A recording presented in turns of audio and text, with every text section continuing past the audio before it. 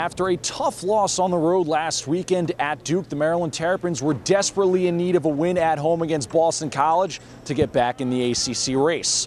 Despite having an 11 point lead at the halftime, the Terps came up short, falling to the Eagles 76 to 67. It was the second time this season the Terps had carried a double digit lead into the half, only to lose to a conference opponent.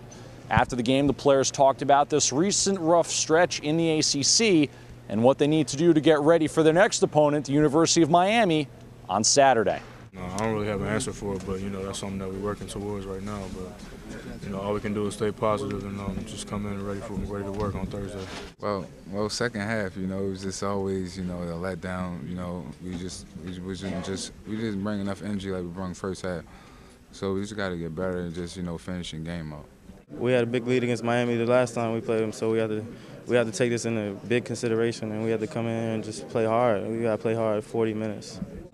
With the loss, the Terps fall to 13 and 7 overall, 2 and 4 in the ACC. They will tip it off against the Miami Hurricanes at 8 p.m. Saturday night here in the Comcast Center. Reporting in College Park, I'm Joey Whelan for Palestra.net, the College Network.